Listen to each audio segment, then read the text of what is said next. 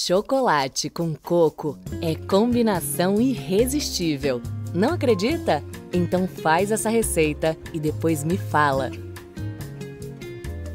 O recheio é o clássico beijinho, que leva o coco dos especialistas, Sweet Floco Só Coco.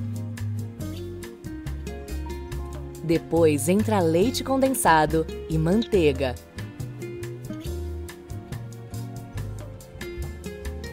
Vai mexendo até ganhar ponto de beijinho cremoso.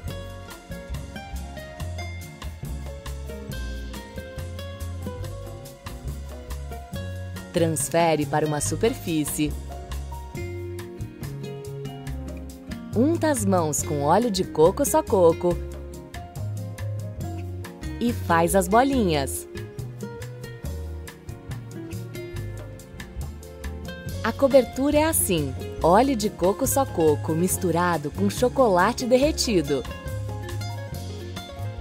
Mergulha os beijinhos. Depois leva para gelar. Agora a decoração deliciosa, com chocolate branco derretido. Faça fio sobre os bombons. O toque final é coisa de especialista. Coco ralado só coco. Só de olhar já dá vontade de provar. E depois da primeira mordida, tem como parar?